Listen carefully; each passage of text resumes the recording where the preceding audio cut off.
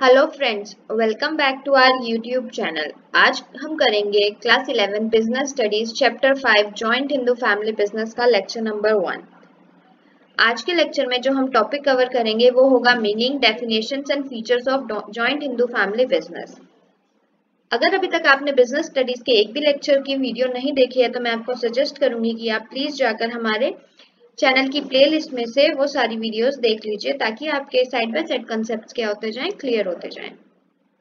हम जो आज जो लेक्चर में करेंगे, वो हमारे फॉर्म्स ऑफ़ बिज़नेस ऑर्गेनाइजेशन का दूसरा पार्ट होगा। इससे प्रीवियस लेक्चर्स में हमने joint forms of business organisation का first part that is sole proprietorship को करा था। आज से जो हम लेक्चर स्टार्ट करेंगे, आज से जो हम टॉपिक पढ़ेंगे, वो होगा जॉइंट हिंदू फैमिली बिज़नेस तो चलिए, बिना तरीके हम अपना आज का लेक्चर स्टार्ट करते हैं।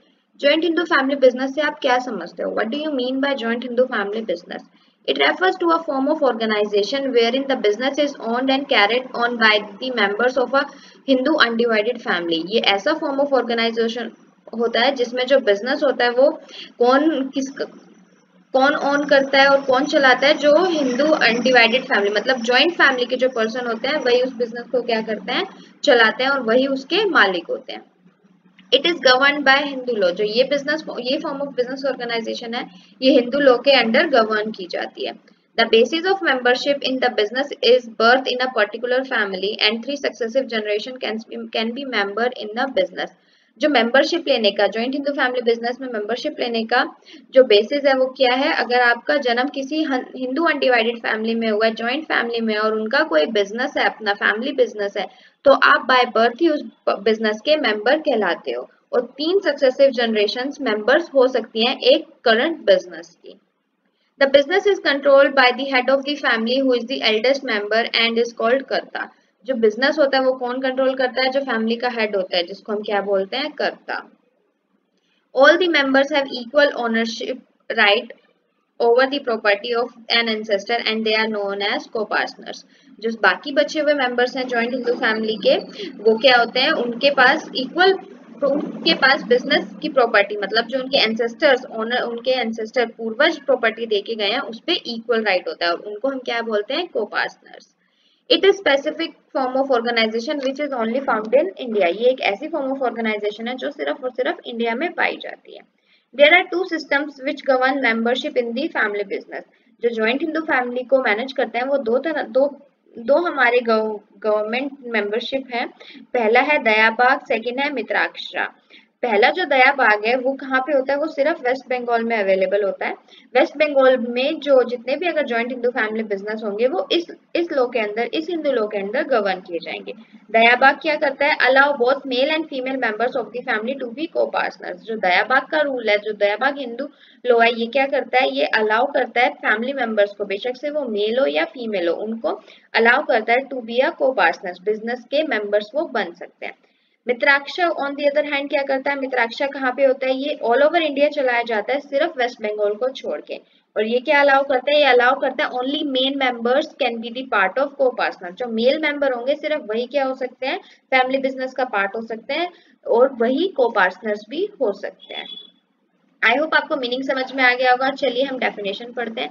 When a joint Hindu family conducts business inherited by it as per Hindu law जो जॉइंट हिंदू फैमिली होती है, अगर वो बिज़नेस कंडक्ट करती है, अपने जो हिंदू लॉ के अकॉर्डिंग ओके तो the business is regulated according to the Hindu law ये बिज़नेस जो होता है हिंदू लॉ के अकॉर्डिंग रेगुलेट किया जाता है. It is called joint Hindu family business ये क्या होता है? जॉइंट हिंदू फैमिली बिज़नेस कहलाता है. In joint Hindu family business the business is pass on from generation to another इस इस फॉर्म ऑफ़ बिज़नेस ऑर्गेनाइजेशन में क्या होता है? एक जनरेशन से दूसरी जनरेशन को बिज़नेस को पास किया जाता है. It refers to that business organization in which all the members of joint Hindu family carry a business under the control of मुखिया और कर्ता of the family.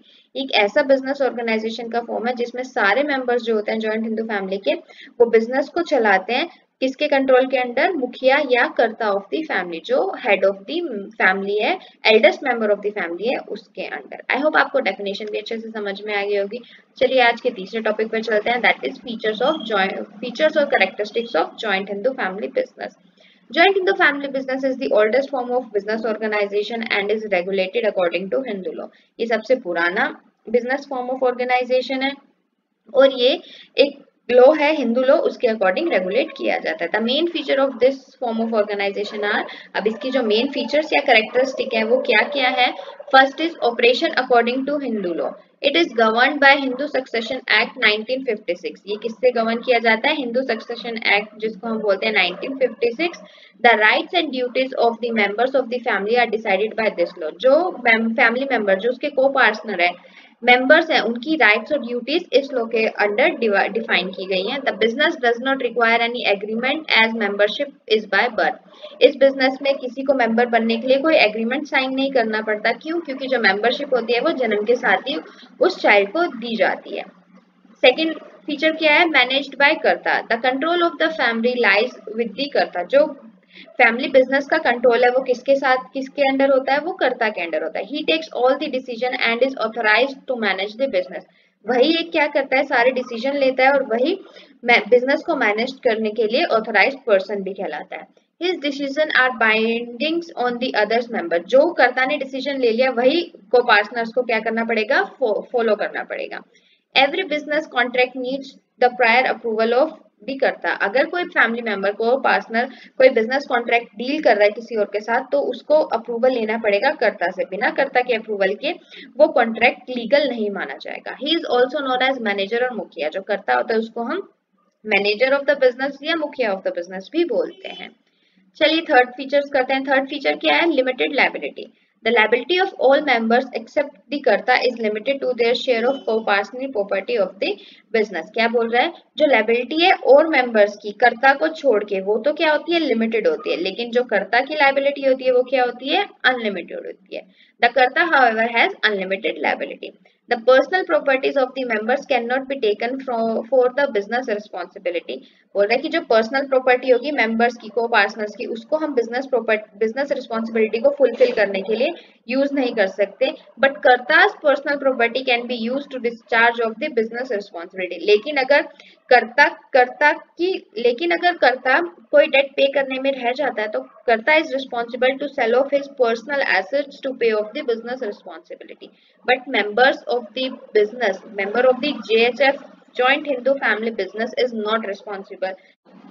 चलिए फोर्थ फीचर पढ़ते हैं। फोर्थ फीचर क्या कह रहा है? Permanent existence the existence of joint Hindu family business is permanent as the business continues even after the death of karta as the next eldest member takes up the position of karta जो existence होती है joint Hindu family business की, वो क्या होती है? Permanent होती है। क्यों? क्योंकि बिज़नेस अगर कर्ता की डेथ हो जाती है तो जो नेक्स्ट एल्डेस्ट मेंबर होता है फैमिली का, वो कर्ता की पोजिशन को ले लेता है और वो क्या हो जाता है? हेड ऑफ़ द फैमिली कहलाता है। There is no effect of death insolvency और lunacy of members on the business अगर और को पार्टनर्स की डेथ हो जाती है या वो इंसॉल्वेंट हो जाते हैं या वो लूनेसी लूनेसी का मतलब होता है दिमाग से थोड़ा सा पागल हो जाना। अगर वैसे हो जाते हैं तो उससे भी बिज़नेस पे कुछ इम्पैक्ट नहीं पड़ेगा। तो इसलिए इस फॉर्म ऑफ़ बिज़नेस का जो एग्जिस्टेंस है वो क्या है? परमानेंट है। नेक्स्ट फिफ्थ फीचर क्या कह रहा है? Membership by birth a child gets a right in the property of Hindu undivided family with his birth एक जो बच्चा जब जन्म लेता है तो जन्म के साथ ही उसका हिंदू अनडिवाइडेड फैमिली की प्रॉपर्टी पे, जो जॉइंट फैमिली है उसकी प्रॉपर्टी पे उसका हक होता है। He automatically becomes a member of the business वो ऑटोमेटिकली जन्म के साथ ही वो उस बिज़नेस का क्या बन जाता है? मेंबर बन जाता है। फीचर नंबर सिक्स क्या कह रहा है? Only men members only men members can be the co partners in जेएचएफ business पहले क्या होता था? सिर्फ़ मेल मेंबर्स जो होते थे वो को पार्टनर्स बन सकते थे जॉइंट हिंदू फैमिली के। But according to Hindu succession act 1956 a women after the death of her husband और in the absence of male successor can become the co partners of the family business लेकिन according to business Hindu succession act 1956 एक महिला, एक women को भी right दिया गया है। अगर उसके हस्बैंड की डेथ हो जाती है या और कोई मेल मेंबर नहीं है मेल सक्सेसर नहीं है उनकी फैमिली में तो एक वुमेन क्या करेगी? आगे बढ़ के उस फैमिली बिज़नेस को कंटिन्यू करेगी। फीचर नंबर सेवन क्या कह रहा है? Registration there is no need of any registration of joint Hindu family business इस बिज़नेस को भी ओपन करने के लिए कोई भी हमें किसी तरह के रजिस्ट्रेशन की ज़रूरत नहीं होती. There is no need to comply any legal formality for its establishment इसके लिए भी, इसकी, इसको एस्टेब्लिश करने के लिए भी हमें कोई भी लीगल फॉर्मेलिटी को फुलफिल करने की ज़रूरत नहीं होती. आई होप आपको ज्वाइंट हिंदू फैमिली का मीनिंग उसकी डेफिनेशन एंड उसके सेवन फीचर्स या करेक्टरिस्टिक्स अच्छे से समझ में आ गए होंगे। बट स्टिल अगर आपको कोई डाउट है तो प्लीज़ आप मुझे कमेंट सेक्शन में कमेंट करके ज़रूर बताएँ। इन, हम अपनी अगली वीडियो में जेएचएफ की बिज़नेस की एडवांटेजेस और लिमिटेशंस को पढ़ेंगे। Thanks for watching please like share and subscribe our channel for more videos